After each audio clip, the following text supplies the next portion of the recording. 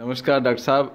आज अपने दर्शकों को मैं इंट्रोड्यूस कराना चाहूँगा। हमारे बीच में आए हैं डॉक्टर मदन गुलाटी, जिनको आयुर्वेद का करीब 40 साल का एक्सपीरियंस है और ये as a deputy director retire हुए हैं आयुष डिपार्टमेंट से। और इतना अच्छा इनका एक्सपीरियंस है और हम इनसे जानना चाहते हैं आयुर्वेद के बारे में। डॉक्टर साहब, आप हमें ये बताइए हमारे दर्शकों को कि आजकल बहुत सारी बीमारियाँ फैल रही हैं। इतनी सारी बीमारियाँ अब नई से नई हर रोज़ सुनते हैं। तो इन सब बीमारियों का क्या कारण है? किस वजह से इतनी सारी बीमारियाँ आजकल सुनने में आ रही हैं? डॉक्टर ऐसे है जो आयुर्वेद कहता है आयुर्वेद कहता है कि रोग क्या है? रोग जो है विषमता ऑफ़ दी टाई एनर्जीज हमारी बॉडी में जैसे एक सपोज़ एक साइकिल का टायर है हम्म, हम्म। या कार का टायर है उसमें हवा जो है ज़्यादा हो गई अगर रेंज हम्म। होता है ना उसका हाँ तो अगर रेंज से कोई चीज़ ज़्यादा चली जाती है तो भी खराब है। अगर रेंज से कम हो जाती है जैसे हम स्टैंडर्ड रखते हैं कि इसकी 25 से 30 के बीच में रहनी चाहिए हम्म, ठीक है ना? हम्म। इसी तरह से हमारी बॉडी में जो है कोई रेंज है हमारे बॉडी में। हम्म, हमारे जैसे वात पित्त कफ तीन एनर्जीज हैं।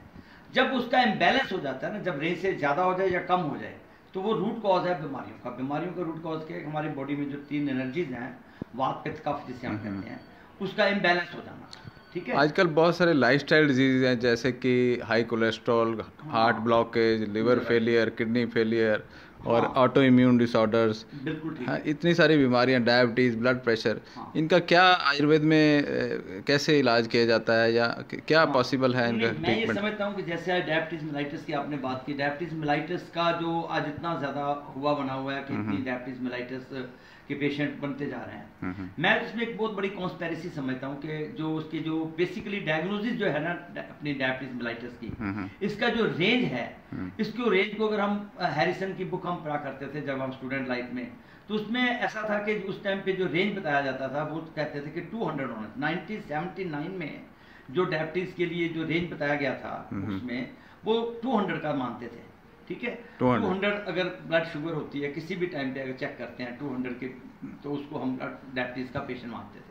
Okay. तो उससे ज़्यादा होगी तो वो डैमेज करता है। अच्छा। परंतु वो कुछ पता नहीं हाँ उसका 79 तक ये 79 से ये चल रहा था। ठीक है। क्योंकि तब तक तो ये आंकड़े नहीं पता थे हाँ, हाँ। कि कितनी मतलब डायबिटीज़ होती है। क्योंकि एनडीडी जो ग्रुप है नेशनल डायबिटीज़ का जो उसका ग्रुप बना हुआ है उसने हमारा उस ग्रुप ने ये उसका जो पैरामीटर्स बताए गए थे 200 तक को हम रेंज मानते थे। Okay. बाद में 1997 में आकर के वो जो रेंज को कम कर दिया गया। हम्म, हम्म, अब जैसे स्कूल है स्कूल में टीचर जो है तैतीस परसेंट वाले पास करते हैं। तैतीस परसेंट वाले पास करने के बजाय अगर प्रिंसिपल कहे नहीं तो मैं मैं तो पचास परसेंट वाले तो ज़्यादा फेल हो जाएँगे। तो बहुत फेल हो जाएँगे अगर हम कह दें कि अस्सी परसेंट वाले फेल करने हैं पास करने हैं तो, तो उसके बाद सारे वो काफ़ी सारे फेल हो जाएँगे। बिल्कुल ठीक। तो ये कुछ रेंज को डाउन करने के बाद क्योंकि आज जो है सबसे ज़्यादा प्रॉब्लम हम्म। क्या हो रहा है? डिज़ीज़ मोंगरी का रैकेट चल रहा है। हम्म, हम्म, बहुत सारी फार्मास्यूटिकल देखो एक होती है मेडिकल इंडस्ट्री एक होती है मेडिकल साइंस मेडिकल साइंस कुछ और कहती है मेडिकल इंडस्ट्री कुछ अपने पर्सनल बेनिफिट्स के लिए इन पैरामीटर्स को जो है थोड़ा डाउन करती जा रही है।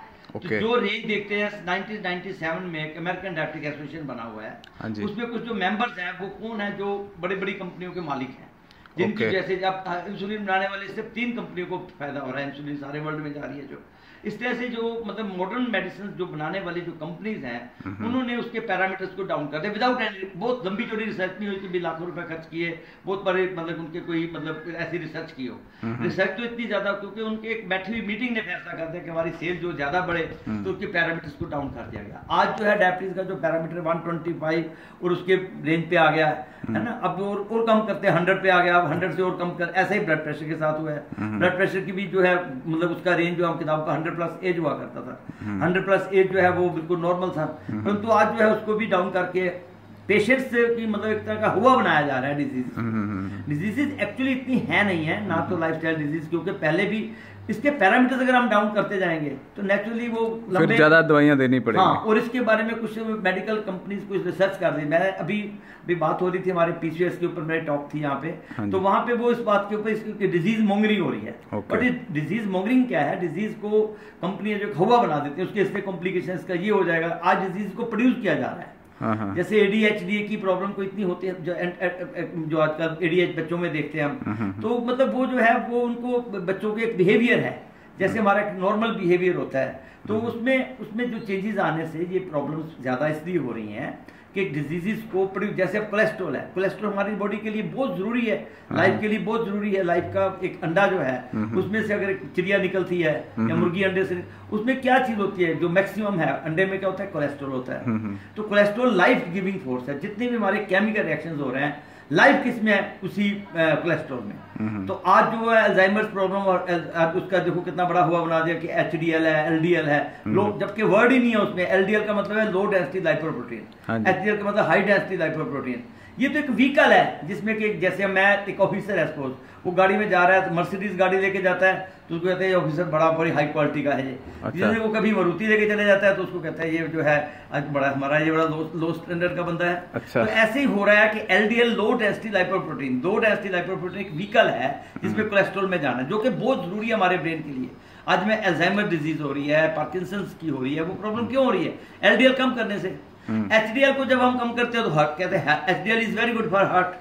दिल के लिए कहते हैं तो वो क्या है? हाई डेंसिटी लाइपोप्रोटीन ठीक है? तो हर ऑर्गन को इसका कोलेस्ट्रॉल मीन कोलेस्ट्रॉल। मतलब कहने का मतलब ये है कि कोलेस्ट्रॉल बॉडी के लिए बहुत ज़रूरी है ज़रूरी है बहुत ज़रूरी है। उसको बहुत ज़्यादा लिमिट से लेडीज़ के लिए। हम्म, जितने हम्म। भी हमारे रिएक्शंस हो रहे हैं सेल्स में जो हार्मोन्स को बनाने में भी कोलेस्ट्रॉल का रोल है तो कोलेस्ट्रॉल इज़ वेरी इंपॉर्टेंट तो ये जो आपने क्वेश्चन किया क्या डिज़ीज़ डिज़ीज़ एक्चुअली है नहीं जितनी हमारे प्रोड्यूस जो जो टू दी मेडिकल जो इंडस्ट्री है हम्म, हम्म। वो क्या कर रही है? डिज़ीज़ मोंगरिंग करते हैं वो ऐसी ऐसा कर देते हैं हुआ बना देते हैं हम्म, कि हमारी दवाइयाँ ज़्यादा से ज़्यादा बिके। हाँ तो जो डायबिटीज़ के कोलेस्ट्रॉल के पैरामीटर्स हैं उनको नीचे करते जाते हैं ताकि ज़्यादा से ज़्यादा लोगों का नंबर आ जाए उसमें लेबोरेटरी में और ज़्यादा से ज़्यादा डॉक्टर जो है वो दवाइयाँ रिकमेंड करें। बिल्कुल। तो एक जो हमारे जो हो रहा है कि डिजीजेस को जो बीटा ब्लॉकर ब्लॉकर वर्ड की किसी चीज़ को ब्लॉक कर दे रोक देना। ये रोकना और ये जो suppressant drugs immuno immunosuppressant beta blockers ये ब्लॉकर्स मतलब ऐसा कैल्शियम चैनल इनहिबिटर्स इनकी ट्रांसलेशन कीजिए ना क्या वर्ड का मीनिंग रोक देना किसी को इनहिबिट करना तो आयुर्वेद में किसी को दबाना।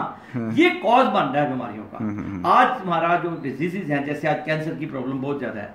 इट इज़ ओनली हमारा सिग्नलिंग सिस्टम आयुर्वेद में क्या बातें हैं? दो बातें बड़ी ज़बरदस्त की है आयुर्वेद में एक बात आयुर्वेद में है वेगावरोध जब हम किसी के नेचुरल वेगा सपोज़ आपको छींक आ रही है और छींक के वेग को रोक दिया तो इसका मतलब क्या है कि आप एक भयंकर बीमारी के शिकार क्योंकि आयुर्वेद में बहुत ज़्यादा स्ट्रेस किया गया है कि एक्सप्रेशन ऑफ़ दी नेचुरल वेगास नेचुरल जो हमारी अर्जीज हैं हम्म। उसको अगर हम सप्रेस कर दिया तो we are inviting so many problems urine आ रहा है यूरिन के वेग को मेरे को संग लगता है मैं अब नहीं करूँगा है ना? तो वो संग करने से क्या होगा? यूरिन के वेग प्यास के वेग को रोकना इवन काम के वेग को रोकना भी आयुर्वेद मना करता है। रुक गया। चक्कर ही था ना? खुली जगह चाहिए मैं पता क्या बहुत बढ़िया बनानी चाहिए नहीं बनी नहीं नहीं बन जाएगी ये कंटिन्यू चलो। चलिए अच्छा।